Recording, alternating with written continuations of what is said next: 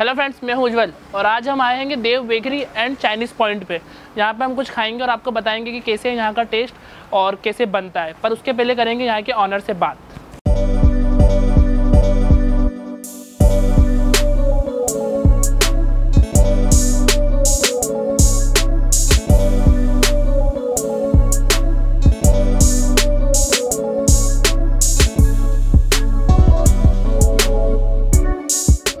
हाय sir कैसे हैं आप?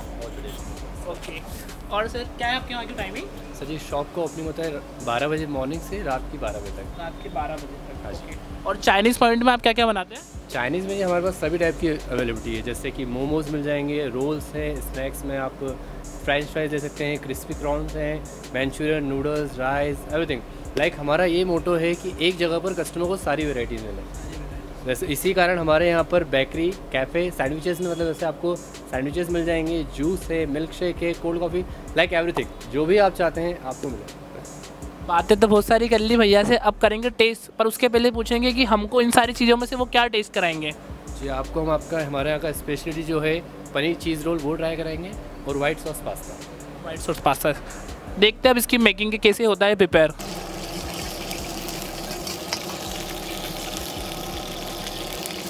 जिंजर गार्लिक है हाँ। जी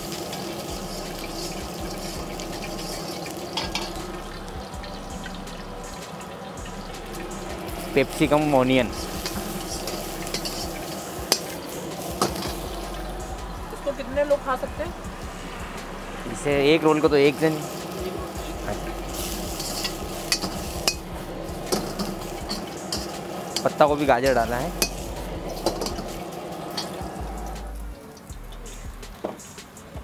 Green chilli. Red soya sauce. थोड़ा सा। इधर से लेना नमक अपने को स्वाद अनुसार। थोड़ा सा Ajinomoto white pepper black pepper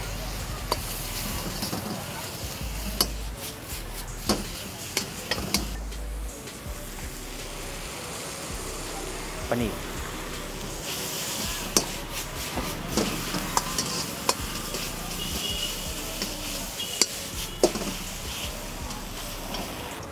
Cheese. Cheese का एक यूज़ करते हो कौन सी कंपनी की? अमूल की चीज़ अमूल की। हाँ जी।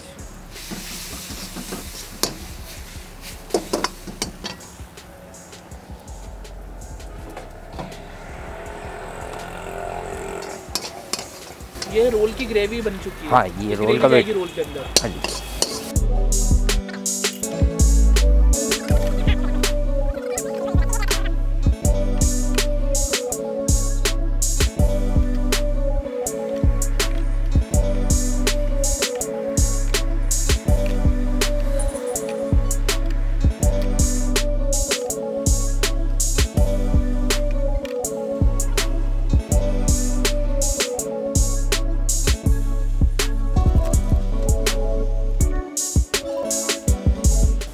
गाइस देख सकते हो, अब प्लेटिंग हो चुकी है सारी चीज़ें डाइनिंग पे आ चुकी है।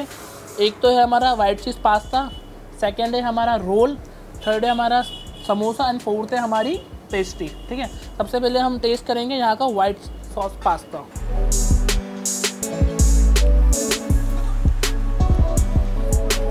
guys proper सारी चीज़ों का टेस्ट आ रहा है इसके अंदर। जैसे कि जो दूध गया था, उसकी क्रीमी प्रॉपर हुई है।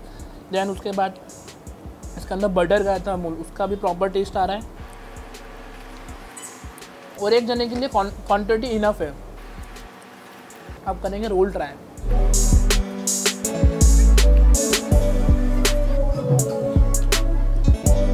गाइस इसके अंदर जो पनीर है, उसकी काफ़ी ज़्यादा क्वांटिटी है।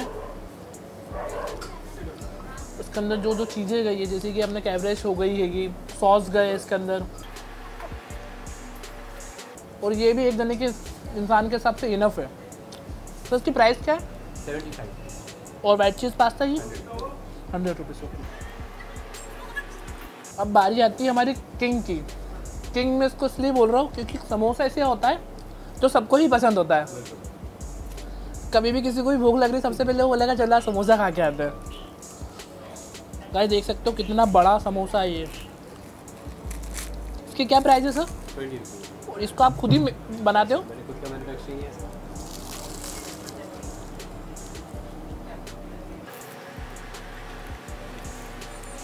है काफ़ी ज़्यादा टेस्टी है और काफ़ी ज़्यादा फुला हुआ है देखिए आप इसको। पूरा प्रॉपर पक चुका है। क्योंकि बाहर के जो समोसे आते हैं बंद बंद आते हैं। वो चाह के भी नहीं खुलते। और गर्म भी सबसे यही होता है जिस चीज़ का आप यूज़ कर रहे हैं। आप. कैसा बटर यूज़ कर रहे हैं किस क्वालिटी का बटर यूज़ करते हैं उन सब चीज़ों बहुत है।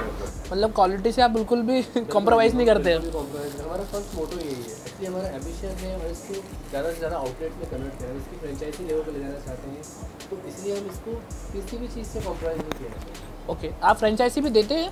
जी अभी सोच बिल्कुल इन फ्यूचर प्लान किया जाएगा कुछ टाइम नहीं ओके अब करते हैं हम पेस्ट्री ट्राई